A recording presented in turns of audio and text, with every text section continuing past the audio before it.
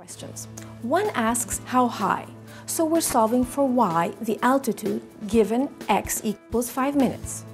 And the other asks when.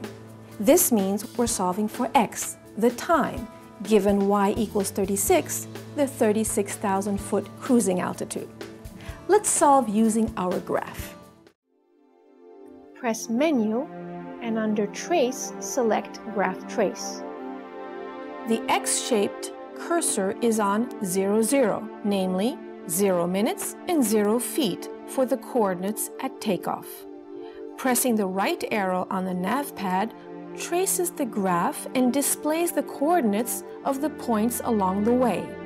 To skip ahead to x equals 5, press 5, then enter, and you obtain y equals 7.5. Press escape to exit the trace mode.